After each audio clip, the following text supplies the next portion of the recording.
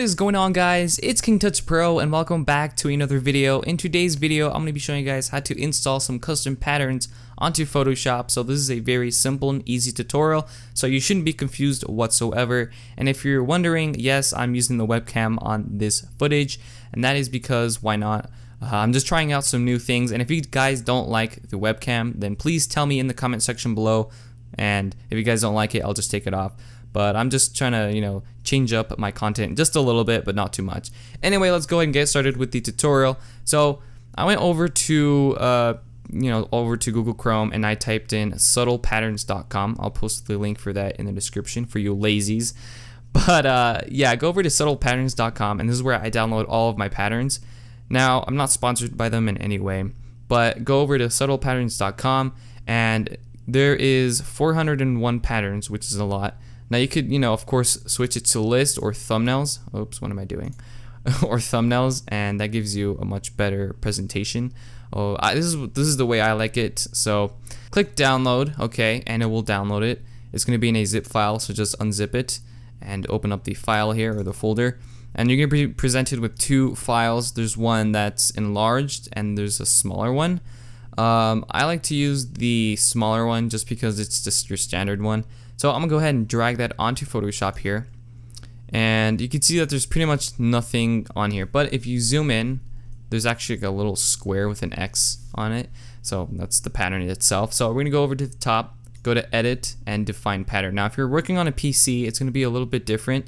So it should be on the on it should be still on the on the top and then go to edit and then define pattern or whatever it is. I don't really work with um, PC uh, computers. I used to have one, but not anymore. So just uh, give your pattern a name. I'm gonna just click OK because I don't really want to give it a name anyway. so open up a document that you're gonna be applying the pattern to. I just used my banner as an example. So I want to be applying this to the background, in this case, the pictures here.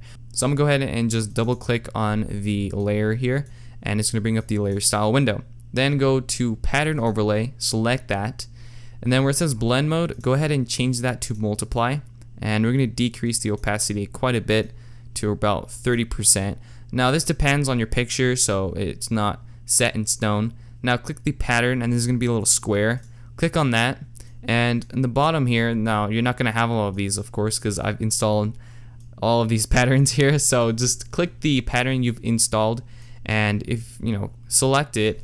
Now if we zoom in, you will actually see the pattern. Now you really can't see it, but once I turn up the opacity, it's right, oh, where to go? I'm not sure if you guys can really see that or not, but it's there, trust me. It's black, of course, so you won't really be able to see it, but you can see that there's some X's here. Um,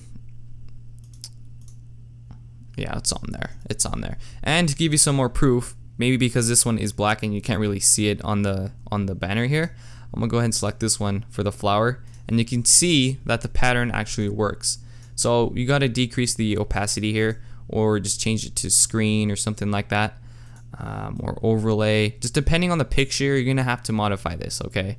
So just keep that in mind. I'll show you guys that it does actually work. So I'm gonna go ahead and zoom out of that and here is the pattern. Of course, this looks really ugly. This is just an example. I would not use this on a banner, but uh, you know, you could if you wanted to, and always decrease the opacity no matter what. Even if it's you know you're using it for a background, you might want to decrease it because you don't want it to be distracting. Now, most patterns, not all of them, um, have like this type of vintage hipster type of feel to it and there's always a lot of stuff uh, on the pattern okay? I go for the subtle patterns because I don't like to overdo it with the pattern and the only thing you're seeing is the pattern itself. That's not me. I like to show the background um, but only there is some some times where I do have to use the the um, patterns but uh, in this case I'm not but I'm just showing you guys how to install it and how to use the pattern okay? So when you're done just click OK and you should have the pattern. Of course you can't see it because it's a very dark background. but uh, yeah, so if you guys like this video, please leave a comment below. A rating would be much appreciated. Subscribe if you feel like it. If you don't, then don't. Um, and if you guys like the webcam idea or if you don't, then please, again, leave a comment below And I will catch you guys on my next video. Until then, peace out and take care.